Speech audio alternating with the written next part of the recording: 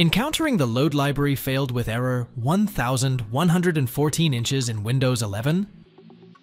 Here are two quick fixes. These steps can help resolve the issue and ensure smoother performance. Press Windows key plus R. To open up the advanced graphics settings, paste this in the Run window. Hit Enter. Control.exe power CFG.cpl. 3 in the Power Options window, search for the Switchable Dynamic Graphics. Click on to expand it. Then, click on Global Settings. Then, click on the drop-down for the option On Battery, and plugged in both and set it to Maximize Performance. Do the same with the plugged-in Settings. Finally, click on Apply, and then on OK.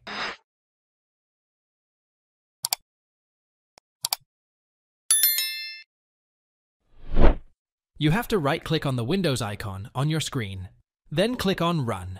Write devmgmt.msc, and then click on OK.